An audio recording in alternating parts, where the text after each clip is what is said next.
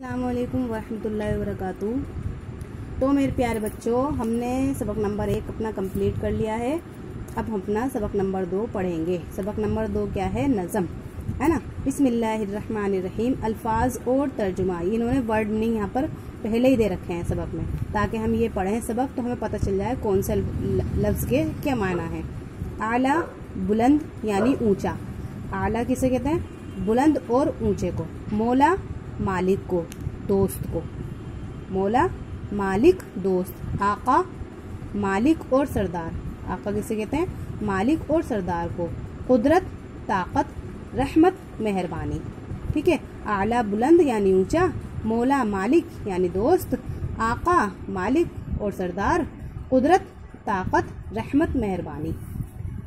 बसमीम सबसे आला अल्लाह है। यानी सबसे बुलंद, सबसे ऊँचा अल्लाह है, सबका मौला अल्लाह है, सबका मालिक, दोस्त अल्लाह है। सबको पैदा उसने किया, कुदरत वाला अल्लाह है, यानी ताकत वाला अल्लाह है।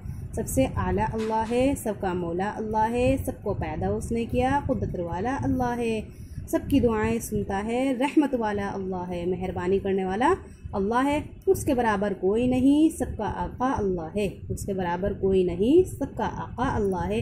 कौन है मेरा? उसके सिवा मेरा सहारा अल्लाह है। कौन है मेरा? उसके सिवा मेरा सहारा अल्लाह है। ये हमारा कंप्लीट हो गया। चलो सवालात भी कर लेते हैं। दुआएँ कौन सुनता है? दुआएँ अल्लाह ताला सुनता है। आला के मायने बताओ। सबसे आला अल्लाह है, यानी सबसे बुलंद अल्लाह है। तो आला के मायने बुलंद। कुदरत वाला कौन है? कुदरत वाला अल्लाह है। मौला का मतलब क्या है? मौला का मतलब मालिक, दोस्त।